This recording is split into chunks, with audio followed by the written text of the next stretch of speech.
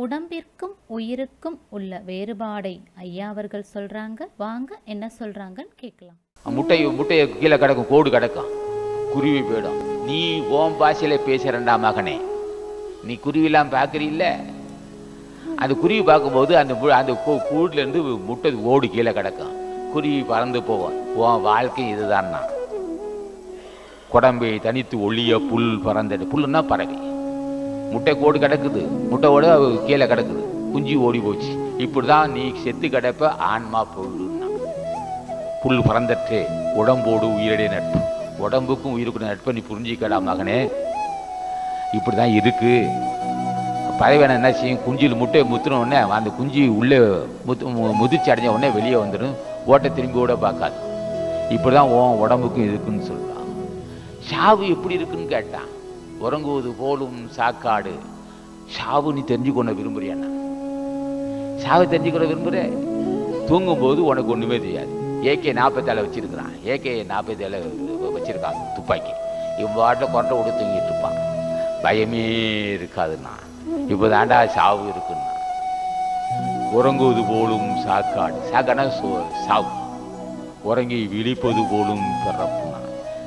தூங்குவது போல் சாவு எப்படி இருக்குன்னு கேட்டால் நீ புரிஞ்சிக்க. ஓம் பாஷையிலே பேசுகிறேன் ஓம் பாஷையிலே சொல்லியிருக்கிற முன்னே உடம்பை தனித்து ஒளிய புல் பிறந்தற்று உடம்போடு உயிரே நட்பு உடம்புக்கும் உயிர் நட்பு முட்டைக்கும் குஞ்சிக்கும்.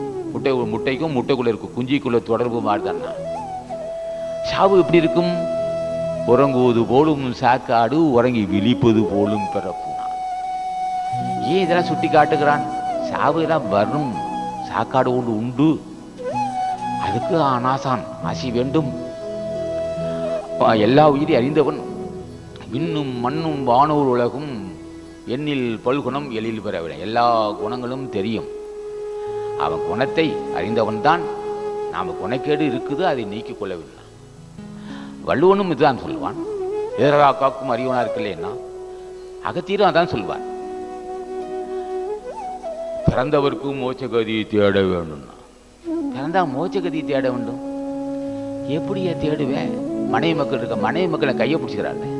போட விஷயம் தெரிஞ்சவன் மனைவி மக்கள் இருப்பான் அவன் பத்து நிமிஷம் உட்காந்து ஆனால் ரகசியமாக பூஜை செய்யணும். ரகசியமாக உட்காந்து ஞானிகள்லாம் அழைத்து எனக்கு ஞானம் சித்திக்கணும்ப்பா நீ தான் அருள் செய்யணும். மனம் தடுமாட்டமாக இருக்க ஐயா. நீ தான் அருள் செய்யணும்னு கேட்குறான் அப்படி கேட்டால் என்ன செய்வாங்க?